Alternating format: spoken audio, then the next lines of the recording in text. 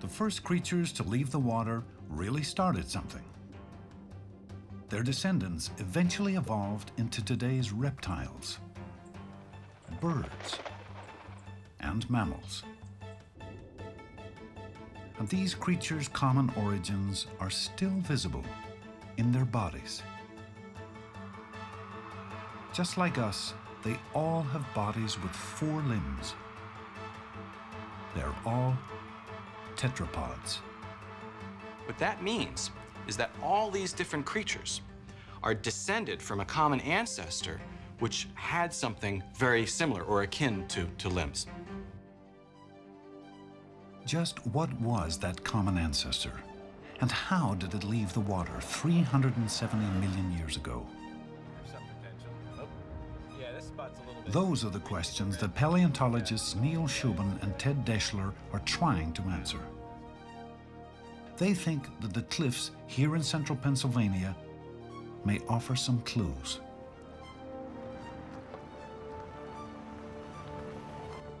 All right. I think it's a good day for fossils. What do you say? Great day.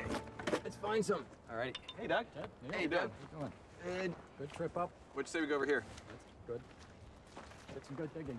An unlikely spot to hunt for early tetrapod fossils. But they're here because the rocks in these hills are just the right age, laid down during the period in Earth's history called the Devonian. Back in the Devonian, this place was very different. It was south of the equator. Remember, the continents are continually moving around. And back at this time, we're actually dealing with a much more tropical climate in Pennsylvania. Hundreds of millions of years ago, the fossils and sediments in these layers were collecting on the bottom of a stream.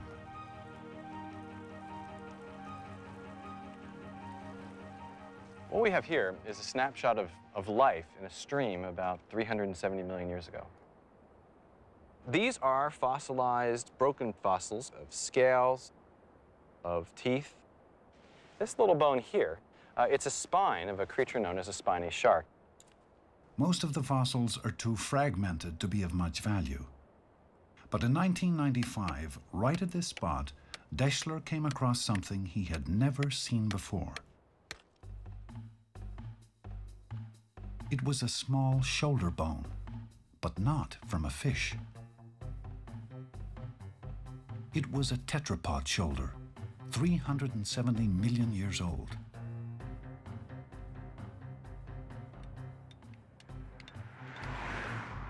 Shubin and Daeschler had unearthed the remains of one of life's first four-legged creatures. It was the first evidence of these early tetrapods from all of North America, and that made it very exciting. And there was another surprise. Since it was found in the stream bed, this tetrapod most likely lived in the water. And it's a very surprising discovery. It's not something we necessarily would have predicted. Why would an animal with limbs live in the water? Limbs were thought to have evolved for getting around on land. The old idea was that the fish came on shore first and then developed the legs. And what we now think is that the tetrapods developed the fingers first and then left the water. Jenny Clack of Cambridge University suspected that the theory taught in many textbooks was wrong. The story that you'll find in many of the old textbooks and the pictures that you'll see in the books, children's books, museum galleries, is a picture of a fish stranded in a drying pool trying to support itself out of water. And it looks really odd if you look at it objectively. Clack thought there had to be a better explanation, but where to look? Only a handful of early tetrapod fossils had ever been found, most of those in a remote part of Greenland at the turn of the century. All she had to guide her was a note, scribbled in a journal from a scouting trip to Greenland years earlier. It referred to tetrapod fossils on an unnamed mountain. Clack flew to Greenland to search for those bones. Eventually, we found the spot 800 meters up on the hillside. Clack returned with four tons of rock and spent the next four years drilling.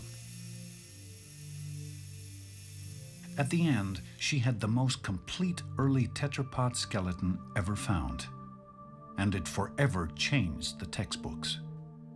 One of the first things that we found was this forelimb. At the end of the animal's limb was an unmistakable array of bones. This was a hand. This is a, a life reconstruction. The artist is using imagination on the colour scheme and on the eyes. But we think this is as accurate as you can get. The creature, named Acanthostega, was clearly a water dweller. It had a fish like tail and gills for breathing in the water. But the ends of its arms were petal shaped,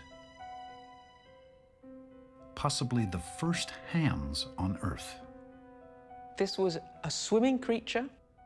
We don't know whether it could ever have come out on the land, but it certainly wouldn't have walked in the conventional sense. Basically, it's a fish with fingers. Clack's find was a scientific breakthrough. It proved that some fish had arms and legs in the water. So tetrapods didn't need to grow limbs after they got onto land.